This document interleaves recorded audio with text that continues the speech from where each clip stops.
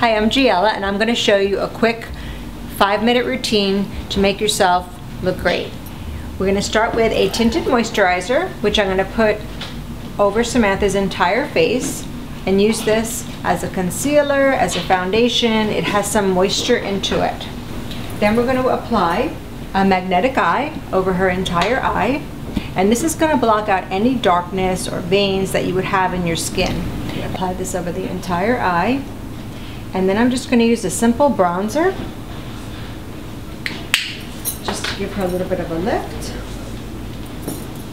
Down her nose. I'm using 6-8 Tan. This is as a highlighter. Such a great way. You can use it as a blush. So it's going to give her some color. And you can put it on her eyelid as well. Next, we're going to use our taupe brow tint, which is not too dark, but it will give Samantha's eyes a bit more depth. And this is a great way to fill in brows naturally, aside from using powder or pencil. It will just fill in the brows and set the hair so they become a little bit more manageable and it's so quick. Next, we're going to use our cheek tint, which is cream to powder. And we're going to use this on Samantha's cheeks, smile, on the apples, this can go right on the eyelids and it could also go on your lips. So it's a multifunctional product. It's a cream that goes dries into a powder and it's so easy to use. And this color is called Spicy Mauve. It's a beautiful nude and it looks great on her for some color. Our next step is eyes. We're going to use our Lively pencil, which is a flesh color. I'm going to put this on the inside of her eye. Open and you can use it on the brow bone as well to lighten.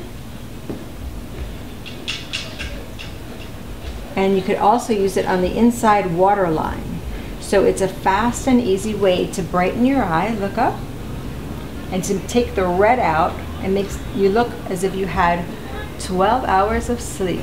Our next product is mascara, which is a must. This really will wake up the eye. And my tip for this is when you would apply it, close your eyes, you're gonna roll the brush underneath the lashes, keep rolling the brush so it will act as a, a lift, almost taking the place of an eyelash curler. So you're gonna keep rolling the lash. And there we go. Our next is the finishing touch of our Lip Glam Lip Gloss. It's a beautiful peachy nude, which will look great with it with the cheek tint and we're going to just apply the gloss on the center of the lips. We use this over the Spicy Mauve cheek tint. And she looks like she is all ready to go in five minutes.